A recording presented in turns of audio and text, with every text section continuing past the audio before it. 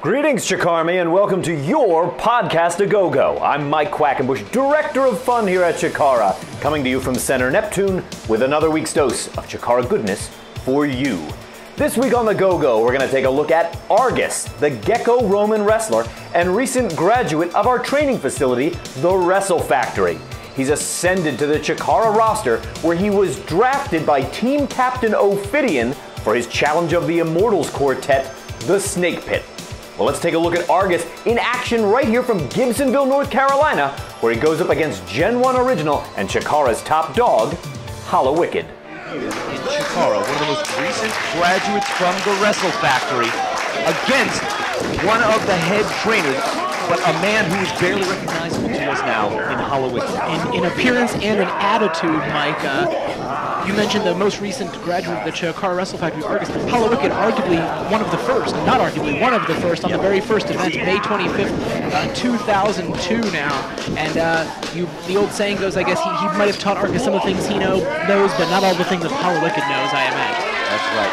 Obviously, as you can tell, fans, the experience factor here to Hallowicked, who is captain of the Nightmare Warriors in Challenge of the Immortals. Argus, an absolute rookie here. He was a final round draft pick for Ophidian's Snake Pit team.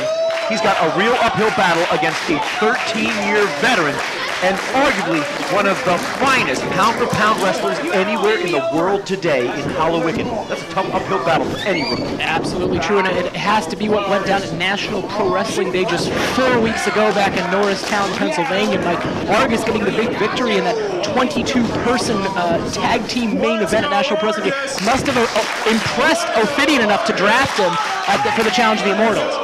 Well, I think uh, just the way the class schedule's worked out, Ophidian has probably trained with Argus more than any other trainer. And I think he's had an opportunity to see something, some promise in this youngster. Well, let's see how he does. Uh, certainly a tall task, but look at that. Very cleverly done. The Gecko Roman wrestler, I've heard him called on occasion. Slippery, slimy. And it should be noted as well, this is not a Challenge of the Immortals contest. Both captains did not agree upon the terms of this contest. This is just a singles exhibition. A real test for the rookie here. Right now, it's Hallowicked with the advantage. He used the snapmare very low to the ground, turns him around. Wow. What a quick conversion through the Mexican rolling pin and came out with a crucifix. You're going to see that hold adapted for hold on top of hold with somebody like Hallowicked, who is well-versed in all wrestling styles. European style, with the British style, the German style, Mexican lucha libre, etc. So it's going to be really interesting to see what Argus brings to the table. How are these styles going to clash? I'd, I'd, venture a guess that, that Hallowicked has, has wrestled in more states than Argus ha has had matches at this point in their career.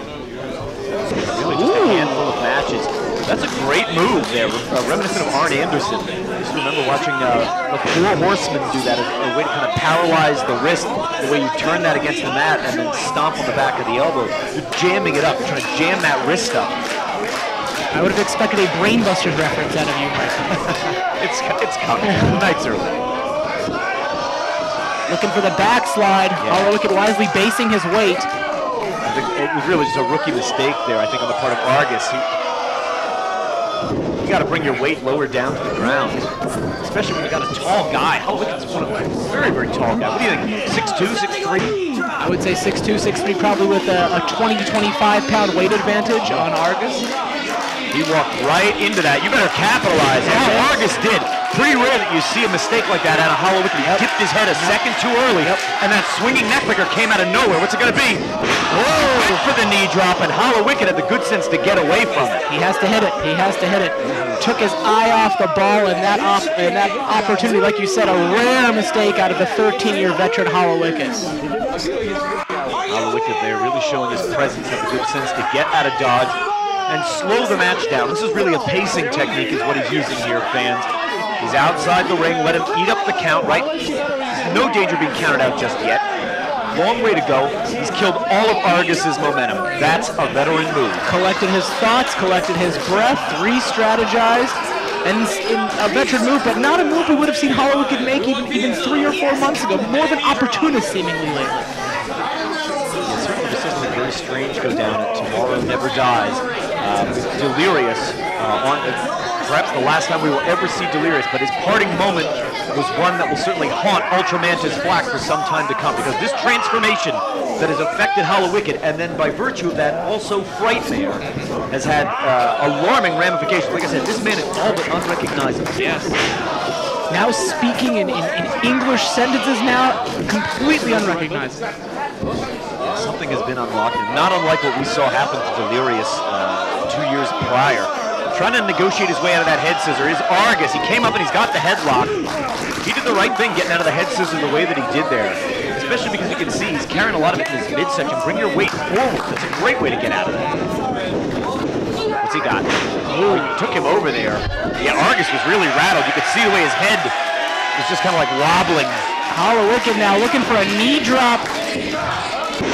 Elbow drop. For a funny guy. I thought it was going to be a knee drop, but I think my mind now, I keep thinking it's going to be the knee drop. Sure, sure. Argus, what's he got? Oh, he, oh, Sunset flip. yeah. Didn't have the legs over the arms, so that's the key to a sunset flip. Yeah. That's what keeps the shoulders on the oh. mat. I've seen him use that soul butt kick before Argus. Such acceleration. All the way through there and dragged him. He's got, whoa! Nicely done. Great belly to belly throw. He does have Hallowicked kind of rocking and reeling there. What's he got? Butterfly, suplex. Look at that. Turned all the way over with it. You better, you better Follow up, follow up. You're gonna do it, do it. Crowd wants the knee drop, but I think, no, I, I think he should have pinned it, Yep, Bryce. yep, yep. This is the best opportunity he's had the entire match to win. I and he can- has squandered it. Yeah, I can appreciate a rookie's desire to win the approval of an audience. I get that, but uh, that was a mistake that's probably going to cost him the match, Bryce. And Hallowicked now perhaps has had enough playtime there. Good night. That is it. Go to Sleepy Hollow.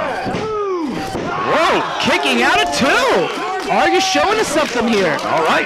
Got to be impressing Ophidian, waiting, watching in the ring somewhere here in the Mid-Atlantic Sportatorium, preparing for his title opportunity this night. But got to be impressed at ba- backing up the option of his draft pick. Blast him with that knee in the corner, not a new drop. kick. That was vicious. Argus still alive. I'm surprised. That rookie mistake he made a moment ago, I thought was going to signal the end, and I'm amazed he's lasted as long as he has since that mental error. Yep. Oh, he's got.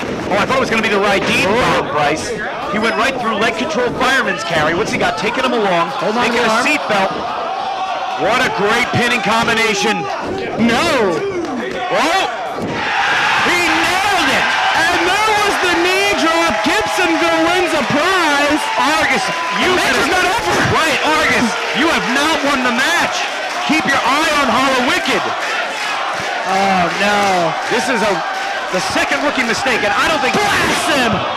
he caught him right in the face. Good night, Argus. Rookie mistake indeed. Two rookie mistakes, too close together. That's the kind of thing you can't do in there against Hallowicked.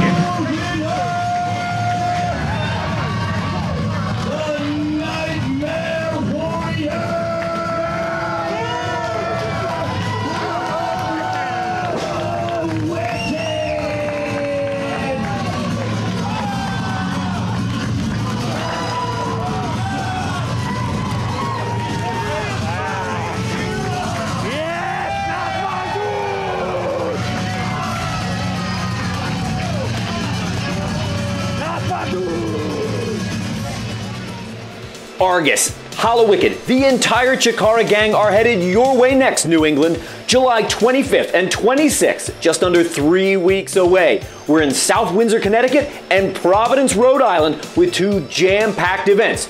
Don't miss the fun filled Lucha Super Party when we're heading your way. What's next on the tour schedule? Reading, Pennsylvania. Easton, PA is host to King of Trios. And then we've got one more swing through the Midwest, including our first ever stop in Minneapolis, tickets on sale for our return to New York City, and tons of other season 15 events.